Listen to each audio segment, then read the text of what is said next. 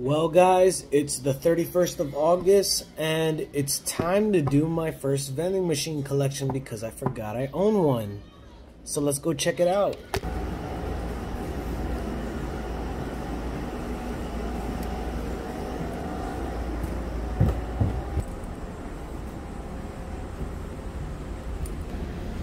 It's over there in B building.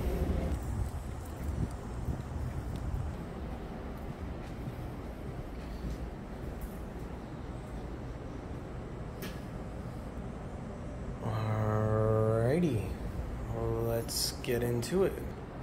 First, let's see what snacks need to be stocked. Alright, people been buying candy. And the gummies. Alright, let's see how we're doing with coins.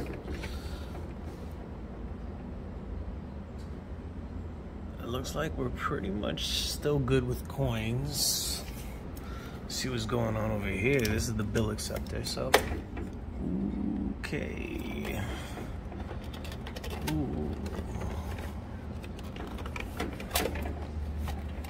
Shabby. It's not bad. So now we make a mental note of what we need to refill it with. Um, not really a mental note. Actually, take a piece of paper and jot it down. But I'm taking a mental note for now. Honestly, I gotta change some prices. So these chips were at like two dollars before because I was basically pricing them the same price that the hotel sells them for inside. But I'm gonna lower them to 175 because two dollars is I, I know, trust me. I was locked out of this machine for about a week. Two dollars is crazy to be spending on these chips. It's uh, it's wild when the tables are turned. This is what I'm trying to do, guys. I'm trying to get this freaking sticker out. There we go.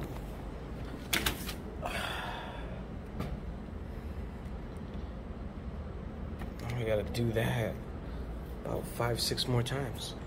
There's a lot of little kids running around here, so I put these cheap little 50 cent Welch's fruit snacks in there for them. So now I'm just gonna restock them.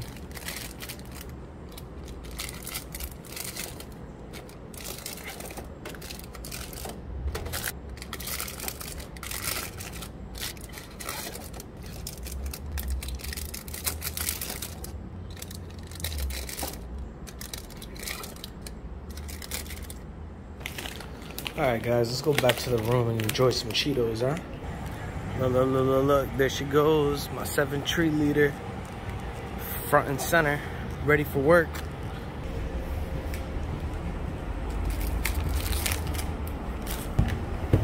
God, these steps are disgusting.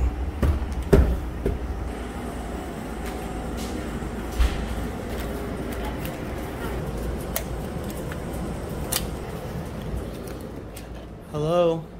Anybody home? All right, here we are. And here we got this fat stack of cash.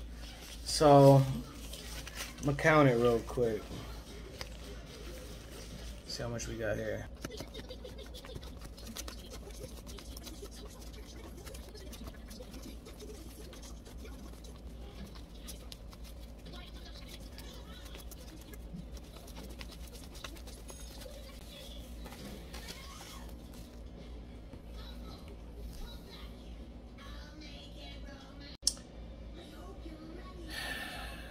Alright guys, so we just got done counting it.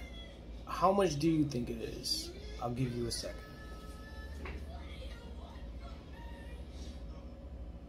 What? You said it's that much? Well, I'd be inclined to agree. Um, it's actually more than I thought. I thought it was gonna be about, you know, 60 80 dollars. We actually made $113. But we spent $80. So we probably have about I mean, the machine's still full. I really, I really don't know how much we got left, but all I know is that in a month we have a hundred dollars, and the vending machine is still pretty full. There's only about two, I want to say about four to five rows that need to be filled. And other than that, everything else is pretty full. People just ate the Snickers. They love the coffee cakes, crumb cakes, whatever you want to call them. That's a hot seller. Skittles and Starburst. Um, and Cheetos. so, hundred dollars. I'm not too mad at it because I know that you know this is. It's gonna be generating more than this. I came to this location earlier this month and I found that the machine was actually unplugged. For how long? I don't know. So we lost sales. We you know we lost running time there. Um, that issue shouldn't happen anymore since I've placed my machine in a different spot and located the cord in a different place and tucked it away a little better. So this is what we got, $113. I'm happy with it. What do you guys get at your uh, vending machine locations? Let me know in the comments. Let me know if you do this or if you want to get started. Um, or if you have any questions on how to get a vending machine placed in a hotel. Anyways, guys, take care as always. Like and subscribe, and um, hit that notification button so you always know when I'm on. Have a good one, guys.